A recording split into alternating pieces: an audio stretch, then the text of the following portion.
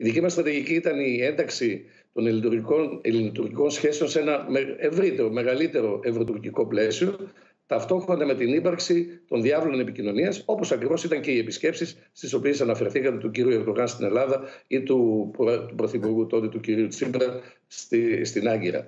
Ταυτόχρονα όμως. Δεν ήταν καλή επίσκεψη.